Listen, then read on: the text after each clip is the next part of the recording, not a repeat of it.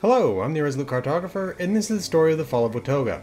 To properly detail its fall, we have to cover the city as it was before it fell. We've covered individual structures and organizations within the city in previous videos, but we haven't really covered the people of the city, aside from a few students and teachers, one named and several nameless mayors, and a few AMS employees. Though it was one man who brought the city down, to know why Watoga fell, you have to know more about the people, as it was because of its citizens that Scott Turner initiated his war against the city. Modern Watoga was built using Robco technology, with funding provided by Atomic Mining Services to be the city of the future. You can find billboards advertising for the city all the way out in Charleston to the west, where AMS sought potential citizens. Much of the labor in the city was automated away through the use of a centralized system that controlled an army of civil service robots. At the Emergency Services Building, doctors, paramedics, firefighters, and even police were replaced by robots. At the Watoga Civic Center, even basketball players have been replaced by robots. At the Municipal Center, the only human employee was the mayor. Service jobs like haircutting had been taken by robots. Even basic volunteer efforts, such as handing out Halloween candy, had been taken by robots. With so many of the jobs taken by robots, you're probably wondering what did the people do for a living? Some of those who lived in Watoga worked at the AMS headquarters, some at the Robco Research Center to the north, and some worked at the few remaining service jobs that existed within the city. Of the working people who lived in Watoga, we know most about two couples, the Osmonds and the Mustafas. Taylor and Kelly Osmond lived in Watoga with their son Bobby. Taylor worked at the Robco Research Center, traveling via the monorail every day to work. Prior to her work for Robco, Taylor worked for General Atomics, where she was responsible for major upgrades to the Miss Nanny line of robots, specifically regarding their behavior towards children. Taylor's wife Kelly worked at Slocum's Joe, where she was terribly treated by the entitled people of Watoga. What the belittling snobs she served didn't know was that Kelly was a dentist who had lost her job when she was replaced by robots. Following a chance encounter at a concert, Taylor and her old college friend Riley Mustafa reconnected by email in October of 2076. Following 10 years apart, both of these tech workers had ended up living in Watoga. While Riley worked for AMS, Riley's spouse Jamie was a former radiologist who had to take a job as an interior decorator when their job was taken by robots. Riley and Jamie had a daughter named Willie who was about the same age as Bobby Osmond. The Osmonds and the Mustafas were among the lucky few that managed to gain residency in Watoga, as moving to the city wasn't simply a matter of finding an open domicile and moving in, its residents had to go through an application process as though it was some sort of city-sized country club. According to Robco's HR department, even full-time employees of the Robco Research Center were rejected in their applications for residence. Though Watoga seems to have had the highest per capita wealth of the cities of pre-war Appalachia, it still had classist citizens looking down on those who had less than they had. Claudia, a society lady, felt the need to chastise her daughter Amelia for dating a man she believed it was improper for her to be dating because it would damage her reputation with the other ladies of society.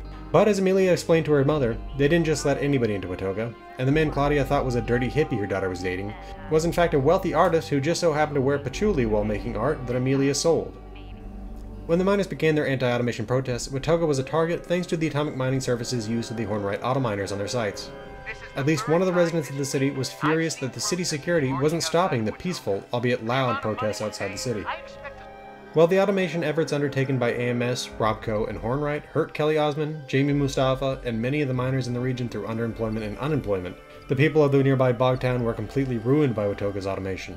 Though the area is called Bogtown, I think that it is likely just a name it acquired as an epithet from the citizens of Watoga, or as a simplification after the war, and that it likely had a different name before the town was ruined. The people of the Bogtown found employment in Watoga before its automation. Once Robco's work was complete, the economy of the Bogtown collapsed. As the structures on Main Street began to collapse, likely due to the subterranean detonations undertaken by Atomic Mining Services, government agents condemned their homes. When one resident asked what she was supposed to do, an agent sneered at her saying, Just buy an apartment up in Watoga. Ain't that supposed to be the city of the future? The attitudes of the Watogans toward the outsiders went a long way towards initiating the destruction of their city.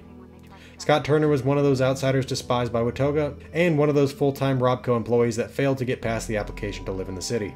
Excluded from Watoga, Mr. Turner ended up living in a trailer parked in a garage on the outskirts of the Bogtown. The rejection he suffered festered within him and coalesced into envious animosity towards the people who lived in the city he longed to live in. While partying on Christmas 2076, Mr. Turner and his associates decided to act against Watoga. The next day, they named the group the Free Watoga People's Party.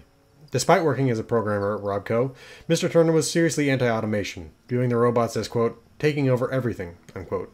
The group believed that they would be taken more seriously if they called themselves a party, implying that there were more people involved. Despite the desire to seem numerous, they rejected a new member, another Robco employee, fearing that he couldn't be trusted. As the weeks went on, their major activity appears to have been involved in the composition of a manifesto for the organization, reading as strongly anti-establishment and anti-automation.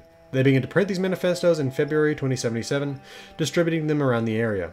At the General Steakhouse near the northern end of the Cranberry Bog and just across the highway from the Robco Research Center, Mr. Turner was a regular customer. He appears to have felt a certain level of kinship with at least one of the owners, and thus felt safe distributing several copies of the manifesto to them, going so far as to ask that they distribute those copies in their menus and with to go orders. Though they appear to have stored these manifestos rather than distribute them, they don't seem to have gone to the cops with what from the outside definitely would appear to be communistic sympathizing literature.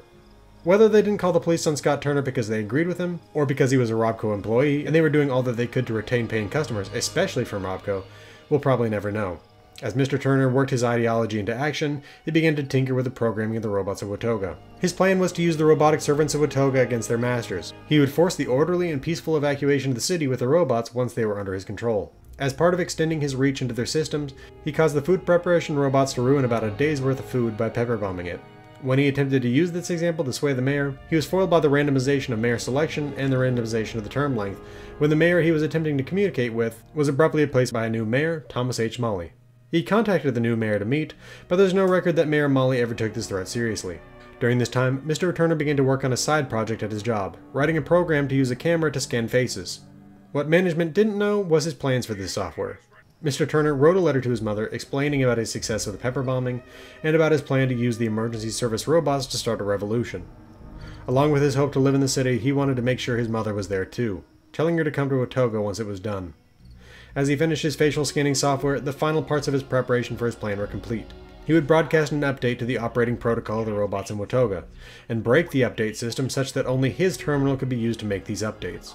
He would then lock his office such that only he could access it. He would then use the emergency service robots to force the elitists that had rejected him out of their homes. His own likeness part of the city's whitelist, he would then trot into the city, offer them the option to beg for their homes, and fill out a new resident fitness application of his own device, rejecting them all. Everything was set for Operation Free Watoga. On Friday, October 22, 2077, just one day before the bombs, Scott Turner broadcast an update to Watoga. Something he did with this patch went horribly wrong. The patch pulsed out across Watoga in stages, as can be read in the conversation between Kelly Osmond and the Osmonds' Miss Nanny that was supposed to be watching their son Bobby. Bobby was over at a friend's house. When he didn't return at the proper time, the Osmonds' Miss Nanny attempted to contact the other Miss Nanny to no avail. It then tried to contact emergency services, again without success. When the Osmonds' Miss Nanny began to search for little Bobby, the patch hit, and it turned hostile and ownerless. This status was that of all the robots in Watoga, suddenly viewing every human in the city as an enemy, after having relied on these robots for basically every task, the people of Watoga were completely unprepared for this onslaught. Enormous numbers of the citizenry were destroyed in moments. The emergency service robots dispatched to help people were responsible for a large part of the slaughter. Barbara Elizabeth, the new mayor to replace Thomas H. Molly, had to fend off paramedic robots that left her wounded. In the Bogtown, Scott Turner collapsed as the crisis unfolded, suffering from ringing in the ears, migraine headaches, and ascending paralysis. At the Robco Research Center, his coworkers couldn't fix his mistake because they were locked out of the update system, and they couldn't access his computer because they were locked out of his office as well. That night, some of the people in Watoga managed to get out, a few of those guided out by Mayor Elizabeth herself. From the bog, they watched as the army attempted to retake the city without success. The next morning, the bombs came down. At a time when people needed a city like Watoga the most, they were completely incapable of accessing it. Homeless refugees from Watoga fled west and north to seek shelter as background radiation levels soared. In his trailer, Scott Turner did all that he could to rectify his mistake, recording the process by which people could add themselves to the city's whitelist. Though he couldn't fix his mistake, he tried to minimize it as best he could in his final moments. He wrote a letter of apology to an old friend and died on the floor of his trailer, where he can still be found today. To those not on the city's whitelist, the robots of Watoga are just as dangerous as they were on October 22, 2077. The story of Scott Turner and the city of Watoga is one of jealousy and envy. The people of the city didn't want to share their home with people like Scott Turner, jealously guarding it with an exclusionary application. In his envy of the Watogans, Scott Turner attempted to steal their homes for himself and his chosen. Though he cloaked his desires in the language of the rights of the people, it was envy that was his driving force. Though he regretted his actions with his dying breaths, the blame for what happened in Watoga lies heavily on Scott Turner. He was one of Robco's most talented programmers, and he should have known the potential consequences for his actions, and in truth, there's reason to think that he did have an inkling that this would happen. When expressing his thanks to the owners of the General Steakhouse, Mr. Turner requested a picture of the two, saying, quote, I need a picture of each of you to scan into my program so you'll be able to get into Watoga without getting killed. Unquote. This could have just been hyperbole, but it says to me that at the very least this thought popped into his head, and that he went ahead with his plans anyway. I think that's going to do it for the story of the fall of Watoga. This has been the Irresolute Cartographer.